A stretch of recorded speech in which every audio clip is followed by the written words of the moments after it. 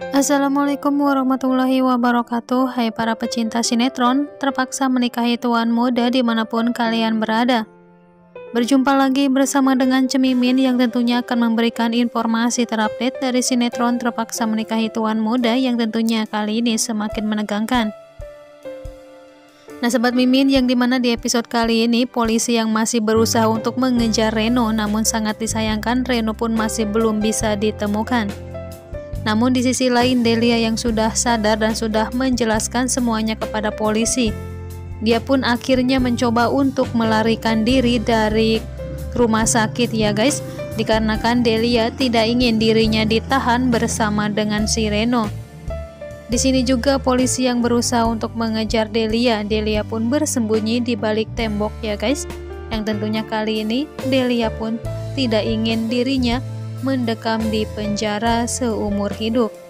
Walaupun Abimana mengatakan bahwa dirinya akan melindungi dari kejahatan si Reno, tetap saja Abimana akan memenjarakan si Delia dikarenakan Delia sudah menipu keluarga Abimana Sudirja.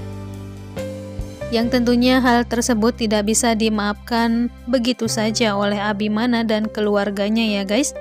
Di sini Delia yang mencoba lari dan kabur, akhirnya polisi pun harus menembak si Delia tersebut ya guys dan tepat di kakinya sehingga Delia pun berhasil dilumpuhkan.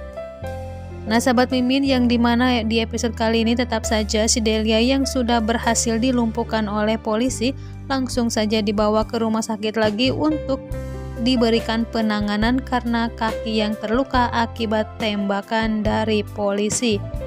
Dikarenakan polisi harus melakukan hal tersebut untuk melumpuhkan si Delia ya guys, agar tidak lari lagi. Nah sahabat mimin yang tentunya kali ini satu persatu kejahatan sudah terbongkar dan tentu saja akan dimasukkan ke dalam jeruji besi. Yang tentu saja kali ini si Delia juga akan mendekam selamanya di kantor polisi ya guys namun tetap saja ada keringanan dan juga si Delia nantinya akan dibebaskan jika sudah memenuhi masa tahanannya.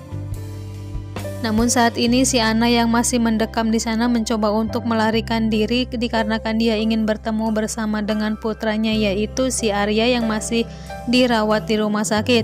Apakah si Ana ini berhasil meloloskan diri dengan memukul kaca yang ada di situ ya guys. Saksikan terus kelengkapan sinetron terpaksa menikahi tuan muda yang tayang setiap hari hanya di Antv. Wassalamualaikum warahmatullahi wabarakatuh.